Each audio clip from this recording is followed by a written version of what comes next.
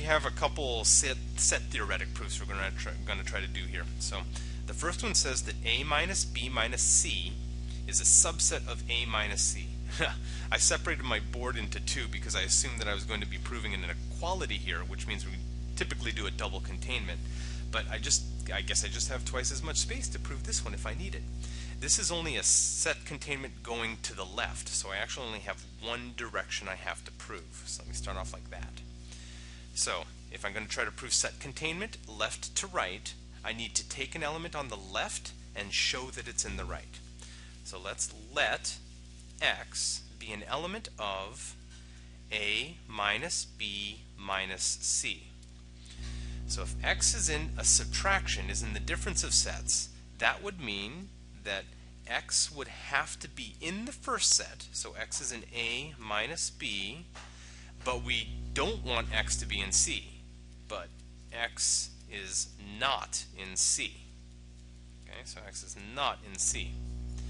Okay, but x is in a minus b, so what does that actually mean? So now we have x is in a minus b, which means x better be in a, and x is not in b, but remember, we already knew that x is not in C.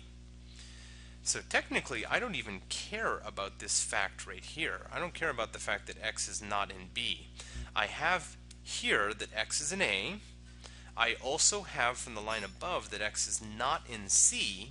So from those two facts, I can now conclude that so x, it's in A, but it's not in C, so x is in A minus C. And that would complete this proof because we only had to go one direction. So, why don't you try the second proof? And this one is an equality, so now you're going to definitely have two directions to do.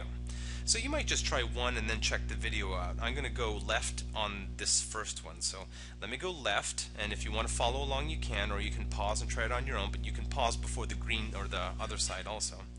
So let's just do this together. Let's suppose that x is in, suppose x is in b minus a union c minus a. Okay, what does that mean? The union means you're in either one or the other. So that would mean that x is in b minus a or possibly x is in c minus a. Right? One of those two things has to happen. What would it mean if x was in b minus a? So what would that mean? That would mean that x would have to be in b, x is not in a. Or on the other hand, from the right hand side of the or, you'd have to have that x is in c, but x is not in a. Okay, so what do we have overall? In both cases, we have that x is not in A. So no matter what, x is not in A. Even though it's an OR, both sides of the OR have that statement. As far as the other pieces, we do have x is either in B or it's potentially in C. So if x is in B or C, we can say x is in B or x is in C, but x is definitely not in A, because in both cases x wasn't in A. But if x is in B or x is in C, that means that x is in the B union C, and x is not in A, so therefore x is in B union C, difference A, just as we needed. And that completes the left-hand containment, from the left to the right.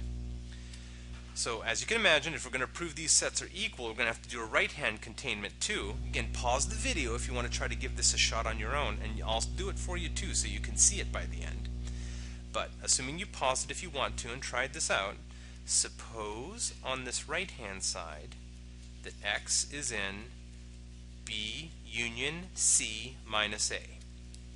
What does this mean? That would mean that x is in the first set, the B union C, but x is not in A.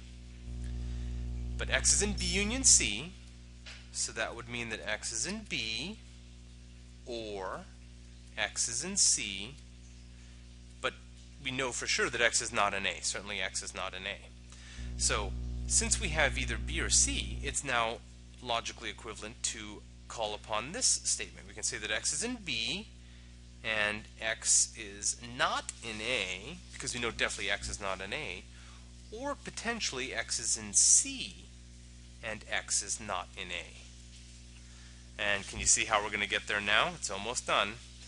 This one means that x would be in B but not A, or this one would mean that x is in C but not A.